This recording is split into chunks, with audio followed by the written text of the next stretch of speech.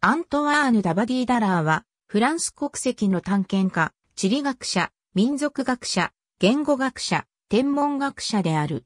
19世紀の初めに、弟のアルノと共に行ったエチオピア探検で知られる。アバディ家は、バスク人貴族の家系である。祖父のジャンピエール・アバディは、フランス領バスクのスール地方の修道院長であり、交渉人でもあった。父親のミシェル・アバディは、スール地方のアラスラルビュー出身であり、母親はアイルランド人である。アンダイエにあるアバディア城1810年、アントワーヌ・ダバディは、グレートブリテン及びアイルランド連合王国の一部だったアイルランドのダブリンに生まれた。一家は1818年にフランスに戻り、兄弟は科学的な教育を受けた。1827年にはトゥールーズで学位を得て1829年にはパリで法学を学び始めた。1835年にフランスアカデミーのブラジルの科学調査に参加し、この時の記録は1873年に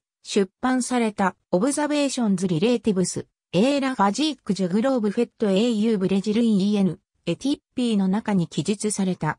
1837年に兄弟はエチオピアに出発し、1838年2月、マッサワに上陸した。多くの困難や冒険に遭遇しながら、エンナレアやコファなど、当時あまり知られていなかった地域を訪れ、地理や地質学、考古学やエチオピアの自然史に関する多くの情報を集めた。1848年にフランスに戻り、エチオピアに関する著作を行った。兄弟は1850年にパリ地理学会からグランドメダルを受賞した。1850年9月27日にアントワーヌは、レジオンドヌール勲章を受勲し、フランス科学アカデミーの会員に選ばれた。1859年2月21日に、ビアジニー、ヴィンセント・デセイント・ボンネットと結婚し、アンダイエに定住すると、シャトー、アバディア城を建設するために250ヘクタールの土地を購入した。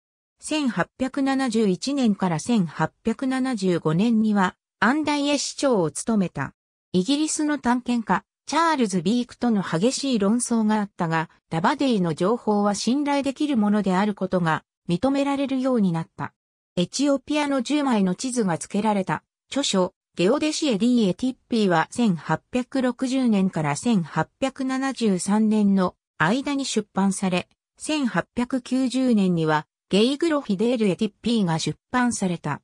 1859年に出版された、 Un catalogue raisonné de manuscrits éthiopiens は、ダバデイの集めた234のエチオピアの文献を集めたものである。1881年に出版された、 Dictionnaire de la langue amarinna などの現地語に関する著書や、 Reconnaissances magnétiques などの地磁気に関する測定結果を表した著書もある。1868年に兄弟の旅行記、 Douze ans dans la Haute-Éthiopie が出版された。